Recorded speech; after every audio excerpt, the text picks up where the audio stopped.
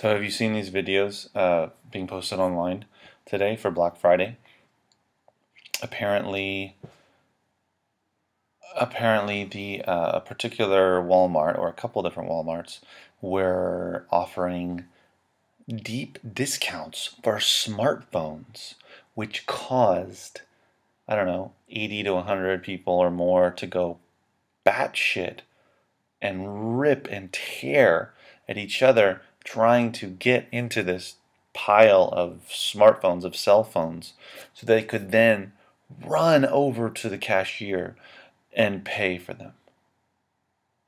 And also, there's a video of people madly uh, grabbing towels, towels, towels, uh, so they can go and and pay for them for what I assume. I assume they're not free.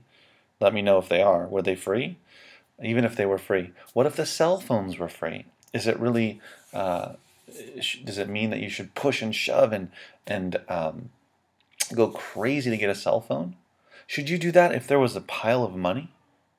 Should you? If they were $100 bills, should you just scrape and claw and, and fling people to the side and get into actual physical altercations? If it was a pile of money, would that be okay? Hundred thousand dollars, million dollars just there, and there's hundreds of people who want it. Is that okay? Because a pile of cell phones, which in a year or two are just going to be old news, and also you have to pay for them, right? Is it really worth it?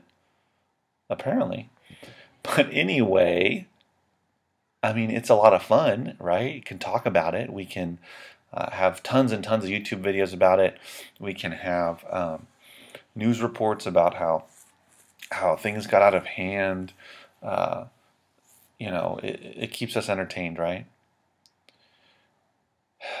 I gotta say, it's uh, every year there's something new. Right now it's a cell phone. Now it's towels. What's next? Toothbrush?